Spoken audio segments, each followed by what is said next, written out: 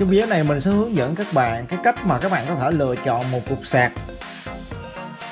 Một cái này là củ sạc nha các bạn. Còn cái một cái là gọi là cáp sạc ha. Đây là mấy cáp USB ha. Hiện nay trên thị trường nó có rất nhiều loại củ sạc và cáp sạc khác nhau. Từ cái nhà sản xuất ví dụ như mình giả sử như cái hãng Samsung hoặc là hãng uh, iPhone đi. Hãng Apple. Thì khi mà người ta bán cho các bạn một cái sản phẩm nào đó, như ờ, điện thoại di động hoặc máy tính bảng hay Apple Watch, nói chung là bất kỳ cái sản phẩm nào người ta đưa ra thì người ta đưa sẽ đưa cho các bạn. Một cái phụ kiện kèm theo đó là cái củ sạc và một cái cáp sạc tương ứng nha các bạn. Là cái, trong cái hãng đó người ta chế tạo ra luôn. Ngoài các hãng chế tạo ờ, cái thiết bị di động á thì người ta còn có một một số cái công ty nó gọi là cái bên thứ ba nha các bạn. Người ta cũng chế tạo ra cái củ sạc cáp sạc hoặc là cục sạc dự phòng.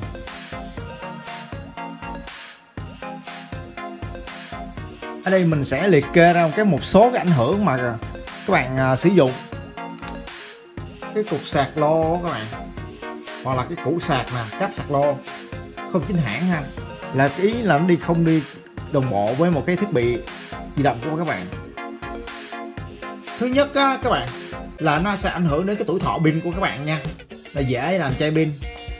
Tại vì các bạn khi mà các bạn sử dụng một cục sạc lô á thì trong cái mạch nguồn switching bên trong á nó sẽ dùng các thiết linh kiện những có linh kiện mà kém chất lượng thì nó không theo đúng cái tiêu chuẩn của đảm bảo áp nổ ra cường lượng điện á, dọc cái dòng sạc.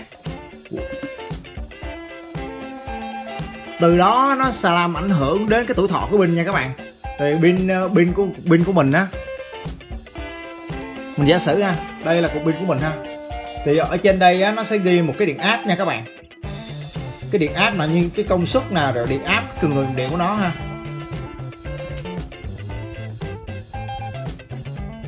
Như đây các bạn thấy không? Đây là pin Nokia. Trên đa thân này á, nó sẽ ghi uh, vô. Và cái công suất của nó nha các bạn. À, 7,4 mà rồi một cái điện áp làm việc của nó là khoảng 3,7V nha các bạn. Và cái dung lượng của nó là khoảng 2000 mAh đây là cái thông số cơ bản cần thiết. Thì nó đi tương ứng với như những cái cục pin như vậy á thì ờ, nhà sản xuất á, người ta sẽ chế, chế tạo cái củ sạc và cái à, cáp sạc á đi kèm nó sẽ đảm bảo được cái dòng và cái điện áp ngõ ra. Nếu các bạn mà khi mà các bạn mà sử dụng mà không đúng cái tiêu cục sạc uh, tiêu chuẩn của nhà sản xuất á hoặc là không chính hãng á hàng nhái á thì nó sẽ ảnh hưởng đến cái tuổi thọ sạc pin của sạc pin nha các bạn. Cái vấn đề thứ hai á là khi mà các bạn sử dụng mấy cái cục sạc sạc cục sạc lô nè các bạn sạc pin vào điện thoại á sẽ rất lâu nha các bạn vì những cái nhà sản xuất người ta chế tạo ra đó nó cũng đảm bảo cái ổn định về dòng sạc và cường độ dòng dòng điện của cục sạc đi vào à, điện thoại di động. Thì khi mà các bạn sạc không dùng sạc không chính hãng á mình giả sử nha ở trên đây cái cáp sạc của nó các bạn cái lõi đồng của nó bên trong á, nó không đúng tiêu chuẩn nó có quá mỏng hoặc là nó cái chất liệu à, đồng của nó nó không nguyên chất ha các bạn thì nó sẽ ảnh hưởng đến cái dòng sạc của nó của mình ha. Hoặc là những vật liệu nó cản trở dòng điện nha các bạn. Nó làm cho cái nói chung là cái điện trở này nó tăng lên nha các bạn. Thì cái gì?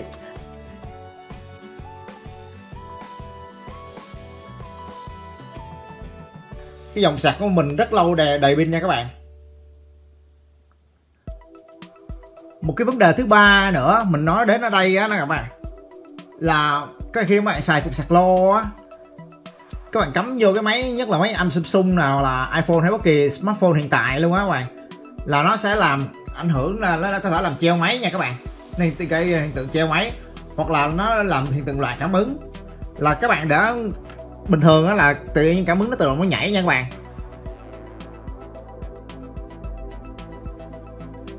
Nên cái vấn đề này là rất là nguy hại khi mà các bạn sử dụng uh, củ sạc hay cáp sạc lô. Ở đây còn một số nguyên nhân nữa mà mình không liệt kê ra. Mình chỉ liệt kê là ba nguyên nhân chính nè các bạn. Nó sẽ làm ảnh hưởng tuổi thọ pin nè. Nó làm cho điện thoại sạc lâu đầy nè. Và cái cuối cùng á, là nó sẽ làm dễ làm treo máy vào làn cảm ứng. Vậy thì ở đây có cái cách nào để mình uh, ra ngoài thị trường mình lựa chọn được một, một cái củ sạc hoặc là cái uh, cáp sạc zin để mà sử dụng cho cái thiết bị uh, equipment device của mình ha. Thì ở đây á mình uh, sẽ liệt kê ra cái cách kiểm tra nha các bạn. Cái này cách kiểm tra tương ứng nha. Các bạn sử dụng uh, kiểm tra cái mình ở đây mình nói về cái vấn đề và kiểm tra cái củ sạc nha các bạn. Tại củ sạc của mình đó là khá quan trọng ha. Thứ nhất là các bạn kiểm tra cho mình cái trọng lượng nè.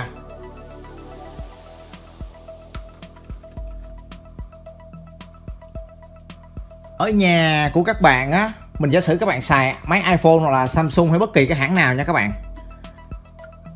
ở trên tay mình là các bạn các bạn nhìn thấy không các bạn cầm hai cục, cục sạc lên á các bạn sẽ xem xét cái trọng lượng của mình ví dụ nhà các bạn lúc đầu là các bạn mua cái có cục sạc zin nha cục sạc zin mà các bạn khi mà các bạn đi ra ngoài thị trường các bạn mua cục sạc zin tại vì cái cục sạc, sạc của bạn các bạn hư á các bạn ra ngoài thị trường các bạn cầm theo rồi các bạn ướm thử ha để trên tay á nếu các bạn nào có cái cân điện tử thì cũng cũng thể dùng được hoặc, hoặc là các bạn không có thì các bạn cầm theo các bạn ướm thử. Ví dụ các bạn ra cửa hàng người ta đưa cho bạn cái một cái củ sạc khác thì các bạn à, cầm ướm thử coi. Hai trọng lượng á nó tương đương nhau hay không. Nếu mà nó một cục cục của mình nó nó nặng hơn và cái cục của người ta đưa cho mình đó là nó quá nhẹ nha các bạn là các bạn khẳng định đây là cục sạc lô rồi chắc chắn luôn ha.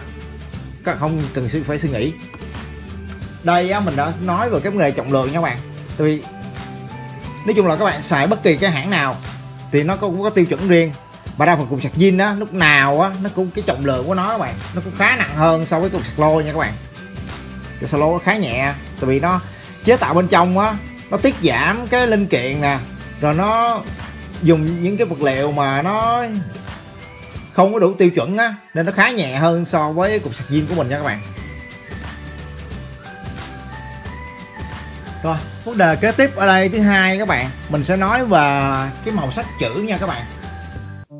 Nè trong cái củ sạc của mình đó nó sẽ có màu sắc chữ ha. Màu sắc chữ rồi mấy cái à, logo nè rồi cái hình lỗi chính tả nha các bạn. Các bạn quan sát cho mình nha. À, ở đây mình sẽ nói về cái cục củ sạc của iPhone nha các bạn. Ở đây đi các bạn nhìn cho mình nè. Cái màu sắc chữ á. Để các bạn nhìn thấy không các bạn? Đây cục đây bên đây á, là cục sạc của mình ha. Còn bên đây cục sạc nha các bạn. Thì đây nó có lỗi chính tả nè. Thứ nhất là cái màu sắc nó quá đậm nha các bạn. Nó đậm rồi nó ghi uh, sai lỗi chính tả nè. Được không có cái logo nè các bạn. Cái logo nó in chìm tại vì cái này cục sạc zin của mình á, nó sẽ có một cái tiêu chuẩn riêng của nhà sản xuất nha các bạn. Rồi đối với những cái cục sạc, củ sạc của iPhone á, các bạn nhìn bên trong á, là nó bên trong mấy cái khe cắm USB mà cái cái cái cáp sạc á, nó sẽ có một cái mã số nha các bạn. Khi mà các bạn soi đèn pin trong đây á các bạn các bạn sẽ thấy một cái một cái mã số của nó nha các bạn đây là cái cách để mà các bạn nhận biết.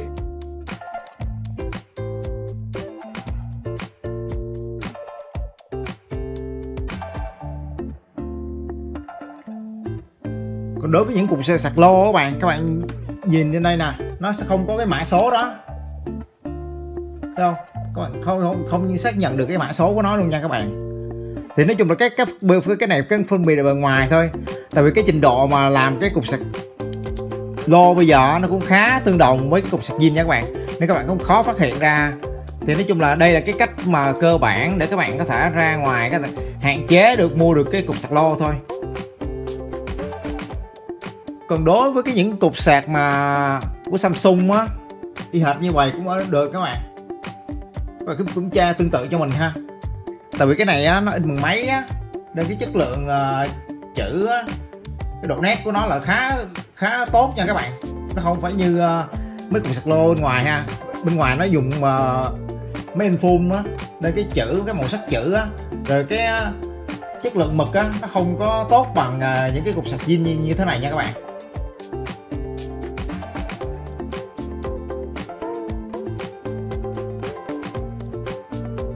Như các bạn thấy ở đây không? Từng chi tiết một. Như cái logo của Samsung nè rồi cái màu sắc chữ nè nó tương đồng nhau nha các bạn.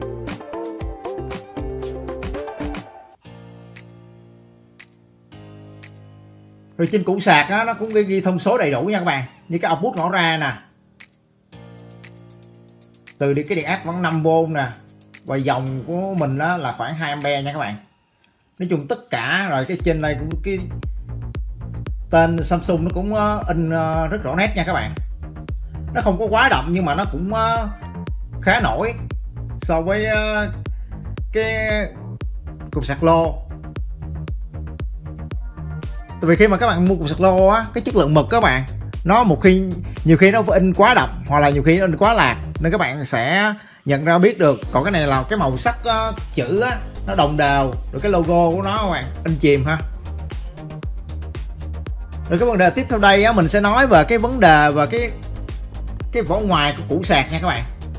Ở đây mình kiểm tra cái vỏ ngoài ha. Các bạn nhìn cho mình nè. Cái vỏ ngoài của mình á, lúc nào cũng trơn láng nha các bạn.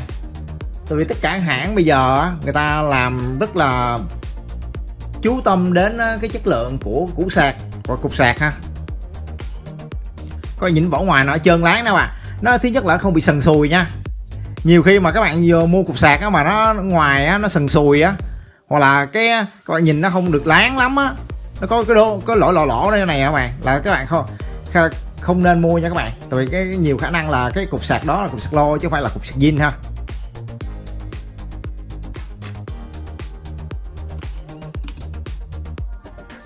Ở đây là mình mình nói về mấy cái hãng lớn nha các bạn. Chứ còn mấy cái hãng hãng hãng uh, no name hoặc là cái hãng mà chế tạo mấy cái thiết bị uh, như điện thoại giá rẻ gì đó thì người ta sẽ dùng sạc lô hết nha các bạn. Người ta không dùng sạc zin của nó hãng nha. Thì đó là những cách đó mà các bạn có thể nhìn vô các bạn quan sát được. Cái vỏ ngoài của của sạc của mình các bạn là không được sần sùi ha. Không được có lỗ bị lỗ hoặc là nhất là cái ba ve các bạn. Tại vì nó nó chế tạo như cái sạc iPhone nè hoặc là mấy sạc, sạc Samsung của mình đó, nó chú trọng đến cái, cái vấn đề thẩm mỹ nè chất lượng bên trong nè nên à, các bạn nhìn vô là các bạn phân biệt liền.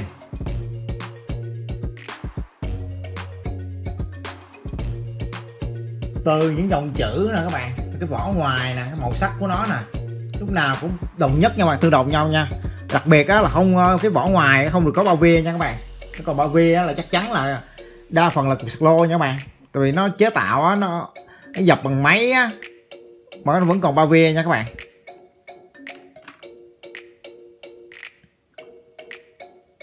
Rồi cái vấn đề kế tiếp của mình á mình sẽ nói về cái cái cái vấn đề mà, mà chân cắm AC. Nè cái chân cắm AC của mình đó các bạn. Đây. Cắm cái này cắm vô cái nguồn điện AC 220V nha các bạn. Đối với cái cái thị trường cái điện lưới của Việt Nam á có thể là cái dắt mình đó là dắt dắt uh, dẹp nha các bạn hoặc là dắt tròn ha. Thì đây á, đa phần á các bạn, cái hàng chính hãng của mình á, mấy cái chân cắm cái nào là này các bạn. Mấy chân cắm AC vào nguồn như thế này nha các bạn. Thì đa phần nó làm vào cái vật liệu á, giống như ờ, inox 304 là cái vật liệu của nó, của mình, hoặc là cái, những cái kim loại không nhiễm từ nha các bạn. Và đồng thời các bạn kiểm tra cho mình cái bao bìa của nó ha. Bao bìa chân cắm này là không có bao chắc chắn là không có bao bìa nha các bạn. Đối với hàng chính hãng nha ở đây mình sẽ nói về cái vấn đề về cái vật liệu à, làm cái mấy chân cấm này nè. Thì đa phần á người ta nhà xuất người ta chế tạo thì à, người ta hạn chế nhất là vấn đề về nước nha các bạn. Nhiều khi à, người ta vô nước á thì đối với những vật liệu bằng làm bằng sắt á sắt từ hoặc là cái gì á các bạn. Thì à, khi mà vô nước ở đây á nó sẽ bị oxy hóa ra ten. Nó sẽ đen làm mấy cái đầu này các bạn. Sau một thời gian á chắc chắn là nó sẽ bị đen thui nha các bạn. Khi mà các bạn cắm vô cái ổ, ổ nguồn 220V á là nó sẽ không ăn điện nữa. Tại vì bên ngoài mấy cái lỗ này nè nó sẽ bị oxy hóa. Nó bị rỉ sét hết nha các bạn. Nên đối với những cái hàng à, mà, chính hãng của mình đó thì mấy cái chân cắm này nè người ta toàn à, hình như là người ta làm bằng cái inox 304 nha bạn. Nó sẽ không bị à, nhiễm từ nha ở đây mình sẽ thí nghiệm ví dụ đây là cái hai cái vật liệu. Một cái loại là inox 304 ha một cái loại sắt ha bạn? Các bạn nhìn hao hao bên ngoài á cái màu sắc của nó giống nhau ha.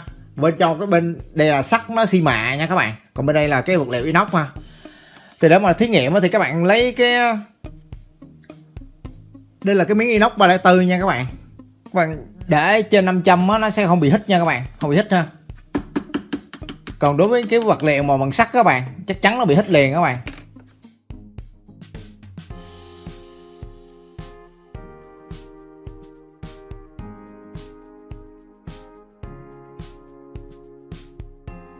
Cái chân áp cắm AC này của mình nè nó sẽ làm đa phần có thể là làm bằng inox nha các bạn. Nên nó sẽ không bị uh, 500 hít ra thì mình dùng dựa vào cái đặc tính này á mình sẽ xác định được cái cách mà phân biệt được à, cái cục sạc zin sạc lô của từng hãng y như nhau nha các bạn.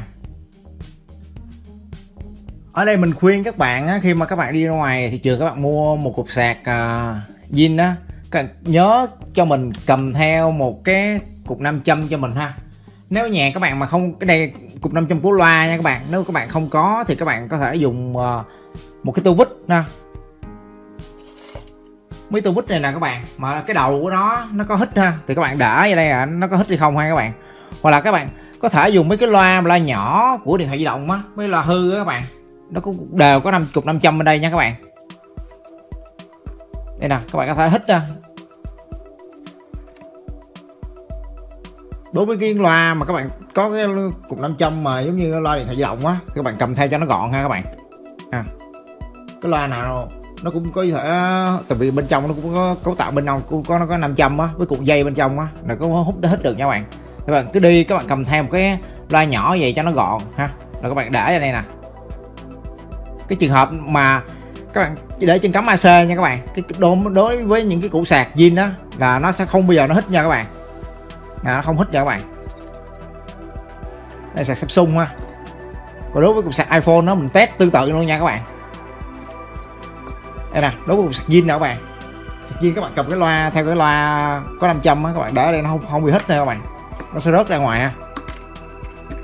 Còn đối với cục sạc lô nó sẽ hít nha các bạn. Các bạn đỡ vô cục sạc lô nó sẽ hít liền. Các bạn nhìn bên ngoài á nó cũng sáng bóng nha các bạn. Các bạn nhưng mà thực chất á, là cái bột lèo bên trong là sắt nó mạ thôi. Nó xi mạ chứ nó không phải bằng inox. Nên các bạn đỡ ở đây là hít liền. Đối với cục sạc lô nè.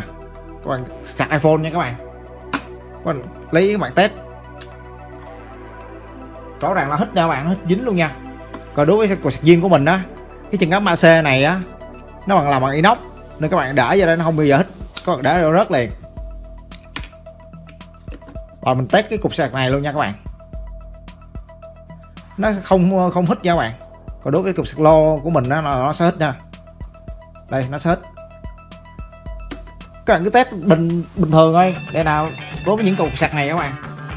Các bạn không biết sạc gì á nhưng mà nếu chân cắm AC của mình á các bạn lấy cục 500 các bạn để hết hết đâu. Hết chặt luôn. Nó chặt chứng tỏ là cái cái này nó vẫn là vật liệu uh, sắt xi mà. Nên các bạn đa phần là sạc lôi các bạn sạc ờ, sạc này sạc tàu ha Trung Quốc ha. Trọng lượng nó cầm khá nhẹ nha các bạn. Đây nè các bạn. Còn ở đây á mình sẽ có hai trong tay của mình đó là có hai cục sạc. Cục sạc đều của hãng Philips hết nha các bạn. Nhưng mà bên đây á Philips nè bên đây sẽ có một quạt slow mà bên đây có một quạt sạc một sạc zin. Thứ nhất các bạn cứ, cứ kiểm tra cho mình từng bước từng bước qua đây nè. Từ trọng lượng nào màu sắc nè.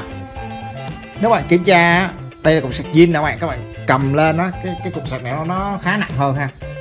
Còn cục sạc này hơi nhẹ nha các bạn. Còn một cách nữa các bạn đi ờ, mua các bạn cầm thay cục 500 cho mình các bạn để nó không hít nha các bạn. Cùng cục sạc Philips luôn ha. Hãng Philips nè à, cái này không hít nha các bạn. Mà để đây nó hít. Các bạn rõ ràng không? Cái cục sạc này nó hít đó chứng tỏ là nó là đây là cục sạc lô nha các bạn. Nó nhái của Philips luôn nó làm tem giống y hệt nhưng mà thực chất á, cái trọng lượng nó khá nhẹ luôn nha các bạn nhẹ hơn cái cục sạc zin của mình ha.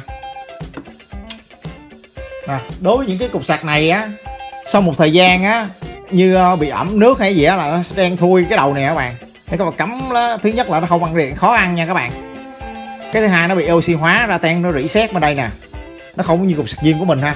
Xài lâu lâu á là nó không bị nha các bạn tại vì cái này bụi bặm nó bám á các bạn có thể dùng với nhá các bạn chà sơ lại là nhưng mà nó không bị oxy hóa ra tan nha các bạn. Oxy hóa rỉ bị rỉ sét á cái độ của đứa cục sạc lô như thế này á nó sẽ bị à, 500 nó hít rồi các bạn. Đây là các bạn cách để mà các bạn à, phân biệt cục sạc zin cục sạc lô trên thị trường ha. Dù các bạn mua của Samsung hoặc là mua của Apple tương tự như vậy nha các bạn. Đây á, là đối với những cái cục sạc rời nha các bạn còn đối với cục sạc mà nguyên cái dây à, dây sạc luôn luôn các bạn. Nó không có như, như cáp USB rồi ha. Thì các bạn kiểm tra sao? Các bạn kiểm tra tương tự y hệt cho mình nha các bạn. Ở đây mình sẽ demo bằng cái à, cục sạc của Microsoft nha các bạn của, Nokia. Thì à, đối với này cái, cái nó dùng cái cổng thứ nhất khi mà đi mua cục sạc này các bạn cứ cầm cũng cầm theo một cái 500 cho mình ha mình sẽ lấy một cục, cục 500 nhỏ thôi nha các bạn. Và cái đầu trên cắm AC này á các bạn lấy cục 500 mà đã vô và nó bị hít luôn vàng nha các bạn. Nó không bị hít đó là ok ha các bạn. Sau đó cái cái này nó dùng nó tổng micro USB thì các bạn cũng để dùng cái cục 500 á. Nè cái chỗ của cái la các bạn để cho hít trong nha các bạn. Nó không hít á là cục sạc này là tốt nha các bạn. Thì các bạn kết hợp riêng cái nè mấy cái trọng lượng nè màu sắc nè bỏ ngoài củ sạc trên cắm AC nếu các bạn kiểm tra từng bước từng bước như thế này cho mình nha theo trình tự. Và đây, đây là đối với những cái củ sạc mà có cái dây uh, sạc bên trong luôn nha các bạn. Còn đối với những cái cái, cái củ sạc này nè cần phải có một cái dây uh, sạc USB cái cáp sạc đó nha các bạn. Thì mình sẽ kiểm tra cái cáp sạc này như thế nào rồi ở đây mình sẽ có một vài cái à, lưu ý cho các bạn nha. Đây là cáp Lightning nha các bạn. Lightning là dùng cho máy à, iPhone ha. Thì các bạn cũng dùng à, một cái cục 500 cho mình. Các bạn lưu ý nha đối với những cái, cái cáp USB á thì cái cổng này nè các bạn cái bọt mà cắm vô á là cắm vô đây nè các bạn thì nó sẽ hít nha các bạn. Còn đối với những cái đầu mà đầu cắm vô cái điện thoại trực tiếp vào điện thoại á nó sẽ không bị hít nha lưu ý cho mình ha. Nè các bạn cái cục sạc này nè. Mấy cái đầu cắm USB nè các bạn đã cục 500 vô các bạn hít hít cái nào là không không có đề gì các bạn. Vì, vì bên trong nếu cái vẫn còn cái thầm sắt á, đã cứng cáp nhưng mà đối với cái đầu này nè các bạn cái cầu đầu cắm điện thoại á các bạn đã vô chắc chắn là không bị hít nha các bạn. Là cái, cái sạc cáp tốt nha các bạn cáp zin ha. Đây là cáp lightning nha các bạn. Các bạn cứ kiểm tra theo trình tự này cho mình còn đối với những cái cáp mà Zippy Type-C này chính hãng của Samsung luôn nha các bạn. Các bạn cũng quan sát cái màu sắc của mình cho mình nè. Kiểm, kiểm tra cáp sạc á nó màu sắc của nó nó đồng bộ với cái củ sạc luôn. Ờ, đồng thời các bạn nhìn trên đây nè các bạn. Ở trên đây nó sẽ có một cái mã số. Các bạn thấy không? Ở trên đây có mã số nè.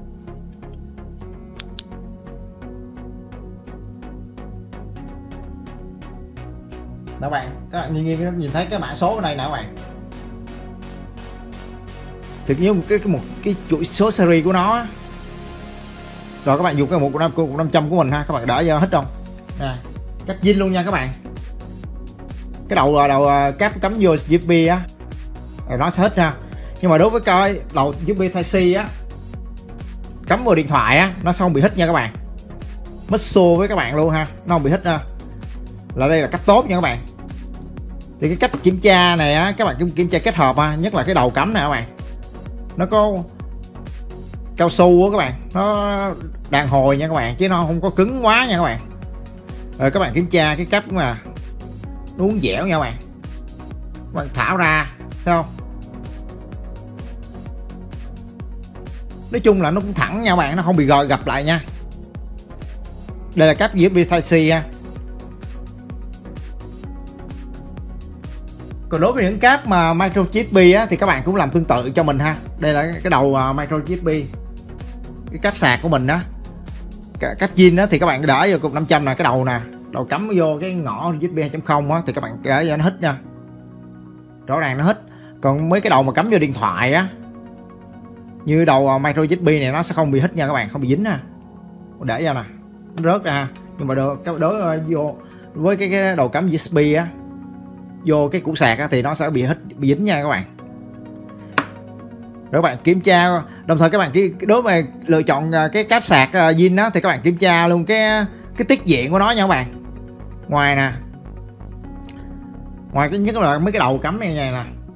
Các bạn kiểm tra cái tiết diện cho mình luôn nha. Tại vì nó cái loại bình thường á nó nhỏ quá là cái tiết diện đồng á nó nhỏ rất nhỏ bên trong á là nó không phải đúng không đúng tiêu chuẩn của nó nha các bạn. Còn đối với cả cấp zin đó của mình á là nó sẽ dày, nó khá dày nha các bạn. Cái tiết diện lỡ động nó càng dày nó càng tốt ha. Nó dẫn điện càng tốt.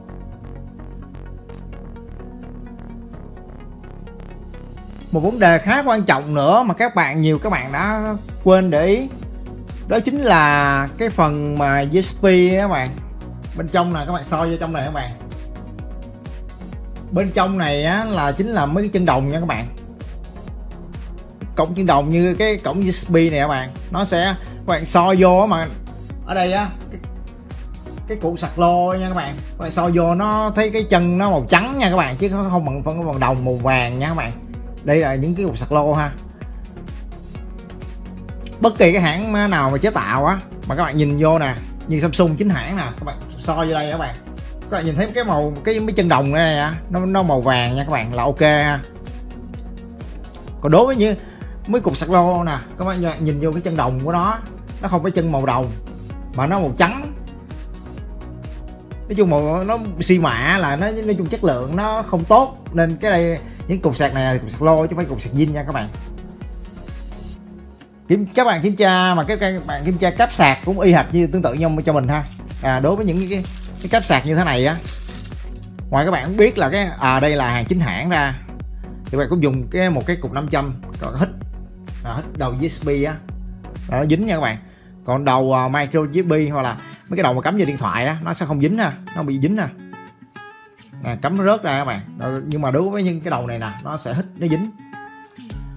Và đồng thời các bạn cầm theo cái mấy cái uh, đèn pin đó các bạn soi vô trong đây nè. Nếu bạn nhìn thấy thì các bạn trời sáng á, nếu mà trời tối thì các bạn soi vô đây cái mấy chân đồng của mình đó các bạn. Nó phải nó bằng đồng nó phải màu vàng nha các bạn mà cái chân USB nè. Thứ nhất á, là các bạn nhìn vô nó bị trắng nó sẽ sáng màu vàng nó không bị oxy hóa rỉ sét ra ten hay là bất kỳ trường hợp nào á. Nếu mà gặp những cái trường hợp này các bạn đổi liền cái cách sạc khác cho mình nha các bạn tuyệt đối không nên ờ, dùng mấy ấy nha. Vì cách mới á, các bạn mấy chân đồng này á, nó chưa bị tiếp xúc nha. Rồi nó chưa bị oxy hóa nó nó không có đen nó nó vàng nói chung là các bạn thấy được cái chân đồng của nó. Đây là cái cách mà các bạn có thể kiểm tra được cái uh, cáp sạc zin nha các bạn. Hạn chế tối đa cho mình.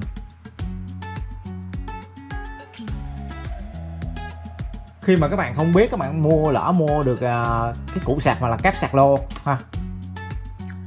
Đây nói chung là cái cách mà để nhận biết đơn giản thôi. Nó hạn chế khoảng trên 50 phần trăm mà các bạn sai sót khi mà các bạn mua cái củ sạc hoặc cáp sạc lô ha các bạn. Hoặc là những hàng mà không phải hàng chính hãng nha các bạn. Rồi, cái vấn đề tiếp theo của mình đó cũng là vấn đề cuối cùng nha các bạn. Để mà các bạn hạn chế là hiện nay trên một số củ sạc của mình đó nó có một cái mã QR nha các bạn. Thì bây giờ đa phần là mấy các bạn dùng smartphone á, là các bạn à, sẽ à, cài cái chương trình à, quét mã QR lên khi mà các bạn quét cái mã vô á, là nó sẽ, nó ra thức thông số cái hàng chính hãng là xuất xứ ở đâu nha các bạn. Là các bạn có thể nhận biết được cái cục sạc zin được lo nhờ vào cái mã QR này nha các bạn. Ở đây mình nói và sơ sơ vậy thôi. Coi những cái mã không? Đây là cái mã QR của nó nha các bạn. Cái dấu mà hình vuông á, thì các bạn cài dùng smartphone iPhone hoặc là Android á thì các bạn cài các bạn xem xét có cái mã QR ở đây. Đây là cục sạc Nokia nha các bạn. Còn cục sạc Samsung cũng tương tự ha. Đây là một cục sạc nhanh của Samsung. Các bạn nhìn thấy không? Bên đây cũng có một cái mã QR của nó nha các bạn. Tại, khi mà các bạn uh, cài chương trình trong điện thoại á quét cái mã này vô nó sẽ ra cái xuất xứ của nó nha các bạn để các bạn có thể phân biệt được cái nguồn gốc của nó coi hàng hàng đây là hàng thật à, hay hàng giả. Và xuất xứ nằm ở đâu nha các bạn. Rồi và lại trong video này á, mình đã hướng dẫn các bạn cái cách mà các bạn à, đi ra ngoài thị trường các bạn mua được cái củ sạc hoặc cái cáp sạc zin nha các bạn. Các bạn có thể đem theo như dùng theo y như cách của mình đó các bạn cầm theo một cái cục 500 cho mình ha để các bạn test ha. Nhất là cái chân cắm AC nè rồi kiểm tra cái bao bia nè. Bao trên trên đây là có bao bia hay không? Rồi trong cái uh, mặt này có láng không? Các bạn làm từng bước từng bước. Y hệt như này trong mình nha. Từ trọng lượng nè màu sắc nè đến bỏ ngoài cục sạc nè cái chân cắm AC nè không có bao bia nào mày rồi cuối cùng là các bạn quét à, cái trường hợp mà đứng củ sạc mà nó có mã QR là các bạn quét cái mã QR cho mình nha. Rồi cái cách cuối cùng nữa là các bạn uh, nên đến cái những trung tâm bảo hành hoặc là cái cái trung tâm ờ, đại lý ủy quyền của nó của, ví, ví dụ như của Apple á nó có sẽ có những cái nhà phân phối hoặc đại lý ủy quyền á các bạn mua được cái cục sạc chính chính hãng của nó ha. Hoặc là Samsung á, thì các bạn đến cái trung tâm ờ, bảo hành sửa chữa của nó.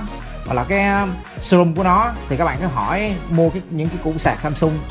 Để mà hạn chế tối đa các uh, củ sạc lô mà các bạn chưa nổi ngoài thị trường á, các bạn à, lỡ mua lầm nha các bạn. Rồi, video của mình đến đây kết thúc nha các bạn. Các bạn có ý kiến thắc mắc gì á, các bạn cứ để lại comment dưới video nha. Mình sẽ support hỗ trợ cho các bạn nha. Hẹn gặp lại các bạn trong video kế tiếp của mình. Chào các bạn.